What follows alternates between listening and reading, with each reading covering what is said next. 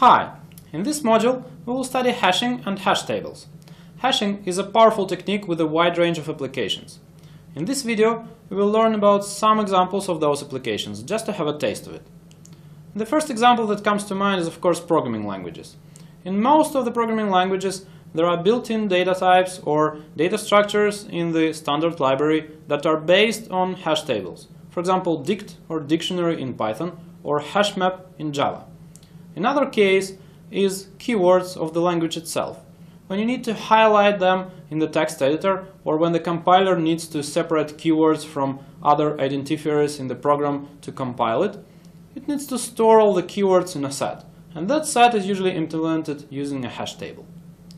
Another example is file systems. When you interact with a file system as a user, you see the file name, maybe the path to the file, but to actually store the correspondence between the file name and path and the physical location of that file on the disk, system uses a map, and that map is usually implemented as a hash table. Another example is password verification. When you use some web service and you log into that and you type your password, actually if it is a good service, it won't send your password in clear text through the network to the server to check if that's the correct password or not because that message could be intercepted and then someone will know your password.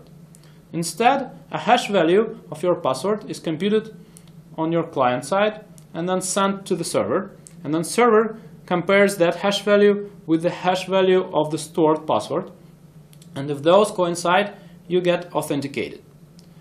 Special cryptographic hash functions are used for that. It means that it is very hard to try and find another string which has the same hash value as your password. So you are secure. Nobody can actually construct a different string which has the same hash value as your password and then log in as you in the system, even if he intercepted the message with the hash value of your password going to the server.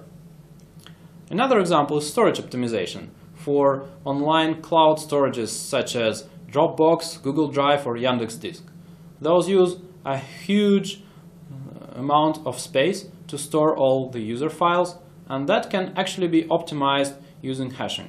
We will discuss this example further in the lectures of this module.